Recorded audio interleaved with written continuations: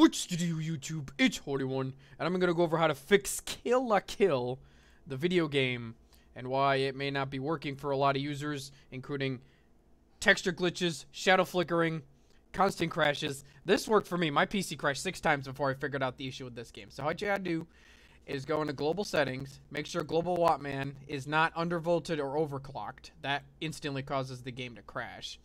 Then what you want to do is scroll down till you find the game in the Radeon game settings, and you're gonna not do the global settings for all your games, but do it exclusively for Kill la Kill. So these are the settings I have that worked.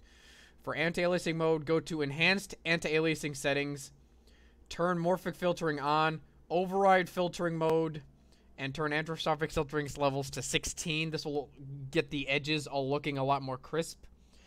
Then set this to performance and dis and go to tessellation mode and set that to off. It's usually set to 64. Change it to off. That's what's causing the texture filtering, uh, the shadow flickering, and some of the textures don't show up on the game. So if you go watch my video of Kill la Kill, it'll show like the game's running perfectly fine.